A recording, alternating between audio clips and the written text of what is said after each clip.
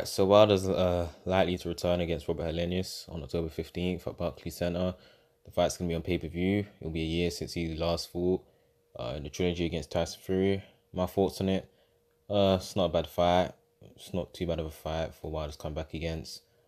Um, Robert Helenius is coming off two wins against Adam Kownacki. You know, um, the first fight, you know, he came in as a big underdog. You know, I expected Kownacki to actually run through Helenius, but Helenius managed to um, you know, weather storm and then knock out, you know, Kownacki in four rounds.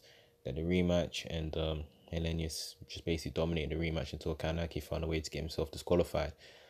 Um it's not too too bad of a fight for Wilder. These guys sparred each other, so they know each other. Uh, both guys have power on their right hands, or power in general. Really, both guys got power. You know, Robert Helenius, a tall guy, tall upright guy. You know, what can I really say? You know, it might just be tailor made for Wilder. You know, I haven't really seen much head movement. Helenius, the fights you know, I've seen, you know, at least his head movement is at least isn't really that great. You know, from what I've seen, but maybe I just need to do a little bit more research. But you would have to make Wilder favor in this one, wouldn't you? You know, but we we don't know how Wilder's gonna be after the two back to back batterings he suffered from Tyson Fury. You know, this isn't just one battering he suffered he took two back to back batterings in a row. You know, he's injury prone. He's what? He's gonna be what thirty seven, uh, this year. You know, this you know Wilder may not be in his prime anymore. You know, Wilder might be past it now. You know, is it too much to say that Wilder won't be the same after the two batterings against Tyson Fury? I mean, I, I think it's a good argument because a lot of people seem to think that um, Wilder's just gonna come back and start knocking people out, knocking cans out again like he was in his championship reign, you know. But that's just not the case. History shows when fights take beatings like that, you know, especially back to back, they're often not the same. You know, I'm not saying that's gonna be Wilder, but I I put more money on the fact that he won't be the same than he would be the same. You know, um. But yeah, that's that's just really that. With punch resistance be the same? You know, Wolf Robert Helenius catches him clean with one of those one of those shots, the same shots he hit Adam Kownacki with. How's how's Wilder gonna react? You know, how's he gonna react mentally? You know, it could be shades of fury again. So we, we don't know for a fact what's it gonna be like for Wilder when he gets back in the ring. You know, um, but another thing here, right, is Chisora fight. No one wanted to see, right? Everyone was so you know with their fake, uh, their fake, you know, uh, you know, the fake concern and the fake outrage of a Wilder Chisora fight. But people cave a Wilder Helenius fight. I mean, didn't Chisora beat Helenius years ago but got robbed? Are we forgetting that, right? You know what I mean? Um, Chisora's beaten far better people um, than Helenius ever has. You know, Chisora has given, you know, top 10 heavyweights more competitive fights than Helenius ever has. Helenius lost to Gerald fucking Washington, people. That's more alarming than any other uh, loss Chisora's taken. Remember, Helenius lost to Gerald Washington. And he got knocked out by Johan Duhaupas. You know what I mean? Annie lost almost every single round against Dillian Whyte back in 2017. You know what I mean? What did what did Derek Chisora do to Dillian Whyte? A lot of you people think that Chisora beat Dillian Whyte, anyways. You know, a lot of you people think, you know, that fight was a robbery. I don't think it was a robbery. But a lot of you people think Chisora beat Dillian Whyte. you know. And obviously we all know that um, you know, some people think that Chisora got robbed against Joseph Parker. I don't think got robbed against Parker. I think it was a close fight. Could have gone either way. You know. Um and obviously, you know, Chisora beat Pulev as well not too long ago. He beat Carlos Takam. You know. Why are people so against the Chisora fight, but instead in favour of Wilder facing someone that is already knocked out? I mean, uh, he's in favour of facing someone that's lost to people that he's already knocked out. I don't understand.